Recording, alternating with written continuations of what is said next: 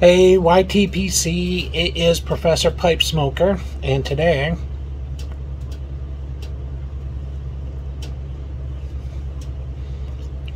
I'm smoking my Dr. Garbow cute little pipe here. And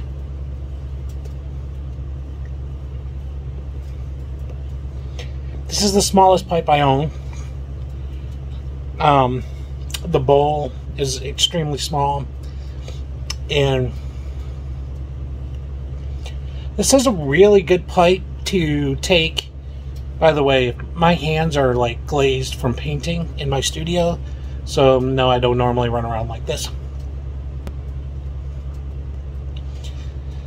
This kind of pipe is really good if you want to take it with you someplace it's light enough, it's small enough, it's very transportable. It's good for um, just a quick smoke and a break.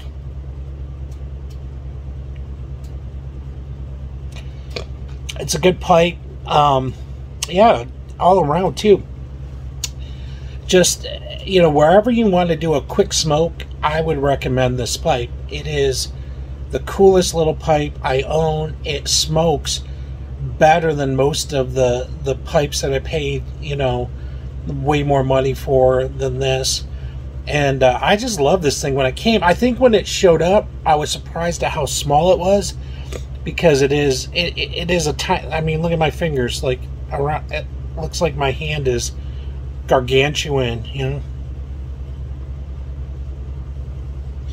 So it is a really good pipe. Now today I'm looking a lot of uh, very bright, like angelic, because I have my work lights on in the studio, and I'm working on getting this up and running. in a second, I'm just gonna do a quick video uh, turnaround of the studio. But this, like I said, if you want a quick smoke, something you can take around that's very light, non-bulky, it doesn't take up a lot of room anywhere. You can put it in your pocket, you can put it in your inner pocket, put a little pouch with some of your favorite tobaccos. This is a really good pipe uh, to do that with. Now, if you buy this pipe on Amazon, it's going to be crazy because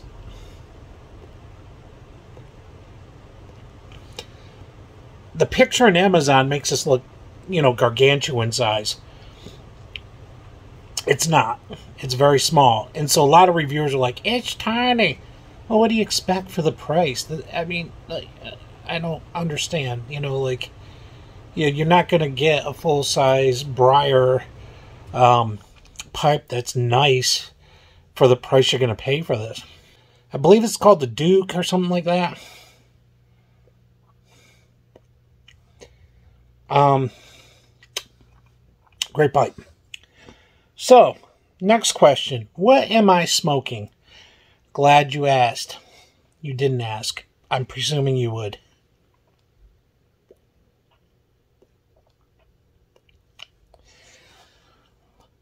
What I am smoking currently in this pipe is Velvet. It came in a package that I got with another pipe and three tobaccos. One was Sir Walter Raleigh, one was Velvet. If you guys watch my other videos, um, I talked about, I actually did an unpacking with the Velvet. And one of you viewers said um, my father or grandfather smoked that and I said I would do a review on it. Well, I'm going to do a review on it right now.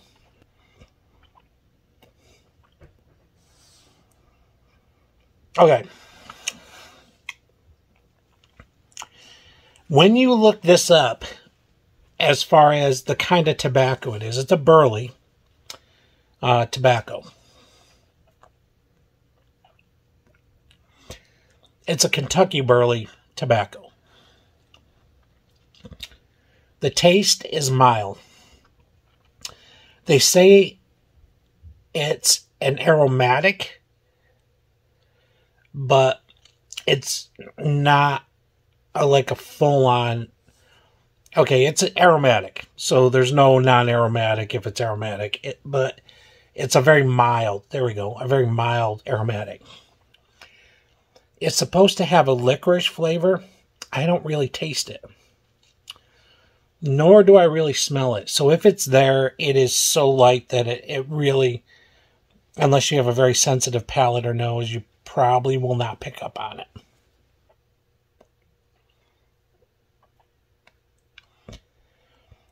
It also says it's supposed to have a fruity or cherry kind of room note.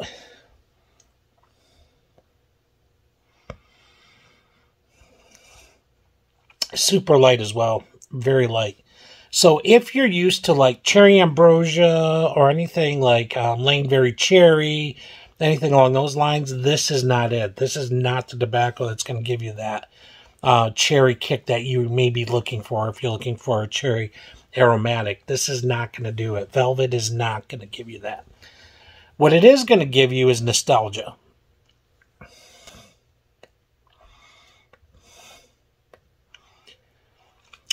This is going to give you nostalgia. In other words, this tobacco had been around so long that a lot of your grandparents or father or great grandparent had smoked this, um, this flavor, this uh, velvet, you know. A lot of a lot of uh, older generations. There we go. Smoked it. Now I think what happens is kind of even with coffee. This is just you know kind of my my overall um, overview of what I think. You know, in simpler times, there wasn't there were flavorings, but it wasn't kind of crazy a little bit like it is maybe today, where you know there's a lot of customization. There we go. A lot of these people were working class, um, like my grandfathers and stuff were working class, and you know my uncle he was an engineer, but he he um didn't go crazy on flavoring. He always had kind of one thing that he smoked in his pipe all the time. It was a much simpler way of thinking, I think, about tobacco. There probably were obviously people who smoked different types and you know different um, Cavendishes and, and Burleys or, or whatever. I'm not saying that. What I'm saying is, in modern times like coffee, if you go into a Starbucks, it isn't like just you know uh, two kinds of coffee, decaf and, and caffeinated, like it was in the diners, uh, or like it still is in the diners. You go into Starbucks and it's all these, you know, chai latte, oat milk, you know, with a swirl of dazzle razzle, uh, banana flavor on it, and all this other stuff. It's kind of like that with tobacco, I think, nowadays, is like, um, you have your steady eddies, which are kind of your classics and then you have these kind of designer flavors. And then I don't know how long like Molto Dolce's been around for, but then you get these caramels and these um, vanillas and and honeys and all these kind of um, almost like more exotic kind of blends. There we go. Then and and it's like your local Starbucks where you have this massive menu with all these kind of drinks and all these flavorings and some like caramel, and some like mocha, and some like you know vanilla, and and all this. And it's the same way with, with pipe uh, tobacco and smoking a pipe. Um, so the Velvet is going to bring you back to the nostalgic age where it's not overly fancy or overly tasty. There we go. It's a straight up smoke that's going to bring you back to a simpler time and not a bad smoke at all. It's not my cup of tea per se. I I just really love crazy flavors and I love really kind of stronger cherries. I love stronger vanillas. I love um like Molto Dolce just does it autumn evening, like that kind of thing. Really does it for me. This is not it. Now the tin note on this tobacco right here. The tin note is very fruity. So I thought when I smoked this, I was going to get this crazy kind of fruity, um, you know, something that it was going to taste the way uh, and smoke the way and smell the way that it smelled in the tin. It's not that at all. It's very mild. So the tin smells stronger than what you're going to get when you actually smoke the the velvet. It has more. You can have it definitely has more of the nutty burley taste to it. So you're gonna get more of that, more of the tobacco kind of um, smoke on this. It's not. It's not definitely going to um, address if you're hankering for, you know, a cherry or vanilla or something that's very strong. It's not going to do that at all. It's not going to be that at all. It's just a straight up nostalgic classic smoke. That's what the Velvet is. Um, the room note's not bad. It just smells like you're smoking um, not a cigarette at all. Uh, it just kind of has a very mild, smoky um, kind of smell. There's no cherry smell. There's no tin note smell that kind of transfers into the room note. It's it's just it's a plain Jane. It's just kind of a plain Jane kind of smoke. So it's not bad. I, I do notice one thing, like this my pipe normally keeps things really smoking well, and this is a very well uh, packed pipe. And I do notice that this uh, tobacco seems to be going out a lot more frequently than um, others that I smoke. I did notice that when I uh, opened up my canning jar, it was very moist, so that's probably what's causing this to have to be relit um, a little bit. I didn't dry it out, by the way. You guys know this. That I I just at the spur of a moment pick what I want to smoke. So it isn't like I'm pre planning my smoking day if I'm smoking at all. It's just like, oh, that looks cool. I'm going to try that today. Or, oh, I'm going to try this flavor now today. Oh, this looks good for. I kind of am like, I choose by mood. There we go. I choose by mood. And so my mood today was I'm going to review this Velvet because why not? And I actually put it in the smallest pipe that I have, so in case it was bad, I didn't have to throw out or you know toss a lot of this. And I, and I don't, by the way, toss out a lot of tobacco. There are a few times I've I won't even review it because it's so horrible that I said, okay, we're not even going to try this one. Um, we're just maybe I should review horrible tobacco taste. But see, here here's the other part my horrible tobacco taste is somebody else's gem. Something that doesn't do it for me is going to do it for somebody else. So if I'm not a big fan of it, somebody else is a big fan of it. And there is nothing wrong. That's that's what makes us all so diverse. It's just going like going back to Starbucks again. I love the chocolate chip frappuccino. My wife doesn't like that. She likes the strawberry bang bang drink or whatever it's called and she gets that and she actually likes to taste many flavors of different things and i'm more of the steady like i like this and this and this and uh, i stick kind of to my taste buds that you know what i like i'm not a massive adventurer but i will review um i will review things that uh taste just to see what they taste like but if I like it, it will go into my regular uh, rotation, you know, food or drink or whatever. And if I don't like it, it will it will not ever make it back into my rotation again. It'll probably sit there. Now, if the apocalypse hit and it was the last flavor on earth that I had to smoke or last tobacco on earth, well, you know, then I'd probably do it because I'd be bored because it's the apocalypse, right? unless I'm out, you know, fighting zombies and, and trying to survive. But for the most part, or I might just be dead because it's the apocalypse. Who knows? But if I had a, um, if I, I won't get rid of it, but it's there almost as like quadruple backup. So I have all these preferable flavors. Then I kind of have my secondary flavors and then I have my, okay, smoke only during the apocalypse when you're out of everything else, that kind of thing. So that's kind of my stock up. And I do that for a reason. One is because I do review tobaccos here on this channel. And the second part of that is I'm not wasteful. So I'm going to keep it around. And if there's somebody that comes to my house that's a pipe smoker and I don't really like them, then I will offer them the cheapest stuff I have. I'm just kidding, by the way. I won't ever do that. But isn't one that'd be funny? Is like you get the cheap stuff. I'm gonna smoke my really good stuff over here.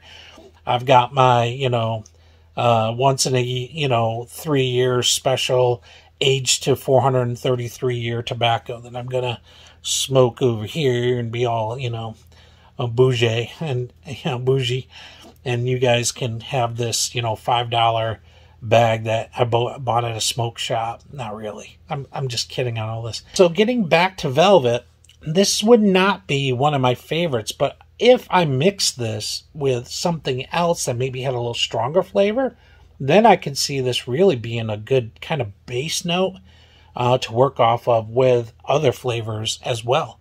And I think that that would be really cool um, to be able to do that. I think velvet, um, I would need to dry the velvet out a little bit for this to be a really good blend with other stuff, um, which I would never do. So, uh, but if you're that kind of person, then you can do that. My take on velvet is this.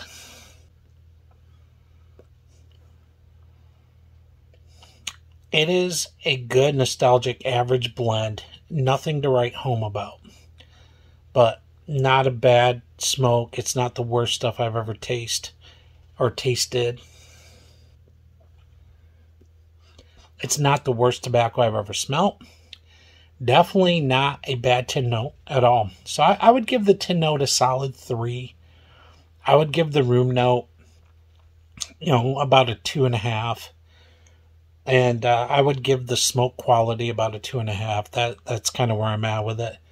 Um, if I dried it out, that probably smoke quality would go up to a solid three, three and a half. It's okay. Definitely not staying lit in my pipe at all. And like I said, this pipe really always smokes very well. I have this this really packed. Um, this is one of my better packs, but also this pipe is easy to pack really well. But it's just not staying lit on any level. It is what it is. I'm not having a bad time. You know, I'm hanging out with the YTPC community and uh, and having a really nice little smoke with y'all and talking about Velvet and my Dr. Garbow little miniature Hey, they look like Popeye. I don't know. I think Popeye's pipe is probably different, right? any rate, uh, go Bills. Go Hamlin, by the way. If you guys didn't know, you know, Hamlin in the uh, playoff game with the Bengals uh, had cardiac arrest on the field. That's kind of the shot heard around the world a little bit right now. Uh, he so uh, you know, they say it was in between like your heart resting beat, which is only about 20 milliseconds. And I can tell you from being in the music business, uh, reverb actually, you normally set it for a vocal at 20 milliseconds. It is fast. So literally, he had this quick uh, resting heartbeat. Boom, went into uh, hit it at that moment, causing arrhythmia, is what they said, and then a full cardiac arrest on the field. Um, I don't know the Buffalo Bills players, but I know the people who own the Bills. I'm associated with their family, um, the Pegulas and the Kerrs, and I can tell you that they are a Class A organization. They are people who have a lot of money, but it's not old money. It was new money that was uh, brought about from uh, there was land that uh, Terry Pegula bought, and come to find out, it was sitting on one of the largest natural gas reserves ever. And he sold that land for four billion with a B dollars. He bought the Bills, he bought the Sabres, he bought the Rochester Americans. Um, they invested a lot of money where I used to teach at Houghton because Kim Pegula, who's Terry's husband, uh, went to college there. As a matter of fact, Kim's dad is a retired professor from Houghton College. I taught Terry's nephew music industry stuff and so on. So I do have a lot of connections to the Bills through that family. But I don't know the players personally. But I can tell you that the organization was rocked to its core when when uh, Damar, you know, fell on the field, and um, but they are also a praying family, and as we know, he's come back. So that is all good news. Go Bills! I hope uh, you definitely go all the way this year. Um, they have worked their butts off to get where they're at. They have gone through a lot of restructure to get where they're at. They got a great coach. They've got a great organization behind them. And Damar's got a great organization behind him. And the entire NFL and world is behind him right now, uh, hoping he gets better. And he has talked, and he's kind of out of his uh, coma now and uh, doing a lot better. Now I'm going to shut this off and I'm going to show you what I've been doing with my studio. So this is where I'm at right now in my studio um, and what I've been wiring and working on. This is a full-on Pro Tools based. This may not mean a lot to a lot of you, but it is a full uh, Pro Tools based studio. This is my money makers down here. Some preamps. If you're in the music industry, you know that these are the crappiest sounding speakers, but if you make them sound good on there, you make them sound good on anywhere, but I actually love mixing on these uh, Presonus Sceptres. But this is, I'm to wide angle this out a little bit so you all can see this. Today I'm to add a keyboard down here and wire up this entire rack. And everything else is wired and working. So um, there's more to the studio than this, but this is where I've been spending a lot of my time getting this up and running. And I'm back. and I'm still smoking velvet. any rate, hope y'all have a good new year so far. And um, I am Professor Pipe Smoker. I approve of this pipe 100%. Some I approve of the tobacco I'm currently smoking.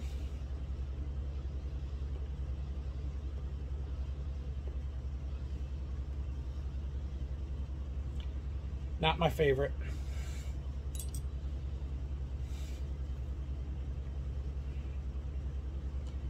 But not a train wreck by any any stretch.